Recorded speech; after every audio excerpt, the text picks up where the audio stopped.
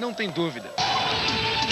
Jogadores, a Vila não estava apenas cheia de torcida, estava também cheia de confiança. Acho que agora é a nossa vez, né? A gente estava há 12 anos aí na fila esperando, tem que ser nosso. Estamos campeão já. Tchau, Túlio. Tchau, Botafogo. Mas só quem não jogou contra o Fluminense entrou em campo, mesmo assim, para um treino rápido. E pelo jeito, a moda do cabelo pintado chegou para ficar no time da Vila Belmiro. O mais novo adepto é o atacante Jamel. E a galera que acompanhou o treino também conferiu o novo visual desses jogadores. Jamel pintou o cabelo em homenagem ao amigo Giovanni. E Marcelo Passos preferiu fazer um leve reflexo na cabeleira. O novo visual dos Santistas foi parar na cabeça dos torcedores. Uma prova de que o Santos é mesmo o time da moda. Nas arquibancadas, muitos adotaram o estilo do time. E o que se viu foi uma legião de torcedores alvinegros de cabeça raspada e colorida. Foi baseado no Giovanni. Se ele tivesse pintado de amarelo, você teria pintado de amarelo. De amarelo, com certeza. Ele se projetou no Santos, mas garante que nessa final o coração é só botafoguense. O meio-campo Sérgio Manuel é uma das armas do Botafogo para tentar o título inédito. Sérgio Manuel é o motorzinho que dá ritmo ao meio-campo do Botafogo. A regularidade, a capacidade de atacar e defender com a mesma eficiência são as suas principais características. Características que dão consistência ao meio-campo de qualquer equipe. Quando não está treinando, Sérgio Manuel passa a maior parte do tempo brincando com o filho Mateus, de 11 meses. Pedem a decisão que certo Sérgio Manuel passa a maior parte do tempo brincando com o filho Mateus, de 11 meses. São momentos de relaxamento que antecedem a decisão que certamente vai mexer, e muito, com o lado emocional do jogador.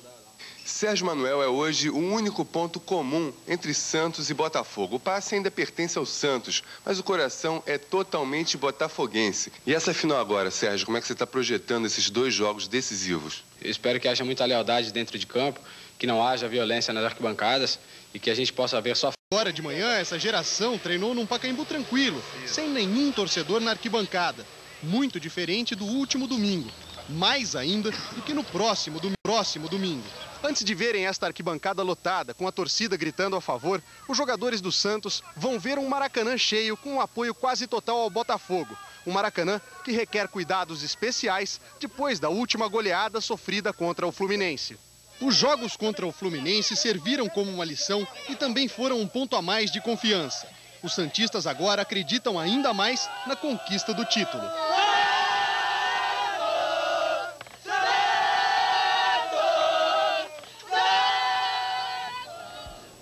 Bom, e quem está muito confiante é o Jamel, ele deve voltar ao time. O Jamel participou de 20 dos 25 jogos. Jogador de 21 anos e que foi comprado muito baratinho, Jamel. 10 prestações de 25 mil, 250 mil reais. Você se sentiu mal com esse preço? Queria comprar você mesmo seu passe? Não, eu não me senti mal, não teve nenhum problema. Mas eu só lamentei que se eu soubesse que fosse esse preço, eu falaria com os amigos aí, eu venderia carro, aí compraria eu mesmo o meu passe e ficaria com o passe é, na minha mão até o fim da minha carreira. Sete gols. E o Botafogo campeão. E o Botafogo com a faixa no peito. O time do Santos está concentrado em São Paulo, da região dos Jardins, na capital. Fala ao vivo o repórter Mauro Naves. Pois é, Kleber, a gente vai conversar agora com o Jamele, que todo mundo viu aí, pintou os cabelos. Eu começo por aí, Jamele. É uma homenagem mesmo ao Giovanni ou foi também promessa? Por que esse cabelo diferente? Não, foi uma, uma aposta com o Giovanni de, de, que se o time conseguisse chegar à final, era a minha vez agora de pintar e o time chegando, eu tive que cumprir. E o que, que as fãs acharam disso? E como é que você tem administrado essa coisa? Desde o tempo do São Paulo, você sempre teve muitas fãs, apesar de ser casado. Como é que está o assédio agora, Jameli? Não, é bem maior devido a, ao time chegar na, na fase final. Então aumenta, né? O pessoal está mais interessado. Mas eu sei, sempre com um pouquinho de jogo de cintura dá para lidar com isso aí. Tá certo. E hoje de manhã o Santos já treinou lá no Pacaembu e vamos ver como é que foi esse treino agora. Por fora da cabeça, o colorido. Por dentro, o pensamento fixo no preto e branco do Botafogo.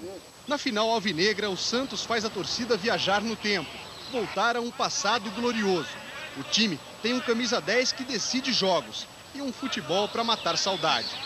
É aquilo que acontecia na época em que eu jogava em 60, quando o Santos apresentava aquele futebol bonito, que as torcidas dos adversários vinham assistir hoje. Gilmar torce hoje para a geração do filho de Pelé. Agora